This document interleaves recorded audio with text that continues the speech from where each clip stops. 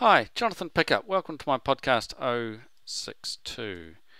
Now, I've just been playing with Vectorworks. Now, I, I've gotten used to this really quickly and I just thought I'd mention it. It's the improved snap points in Vectorworks 2009. If I go to put in a window, you'll notice that as I go near a wall, can you see there's a tiny little grey mark just there at the midpoint? So the snap points, there's another midpoint there. It's now much easier to find the snap points that you're looking for in Vectorworks 2009. Put a window there and I want to find a midpoint along there. You can see the little grey line turns up, real easy to find.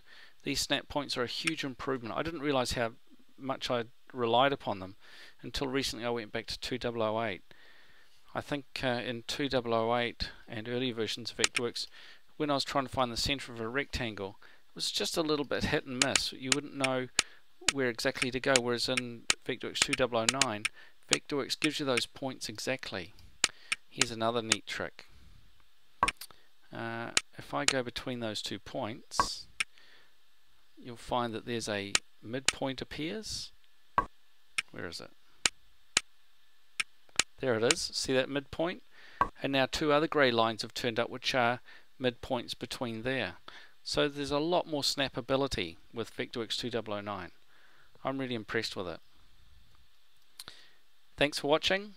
For Vectorworks training, manuals and support, www.archoncad.com. Thanks for watching.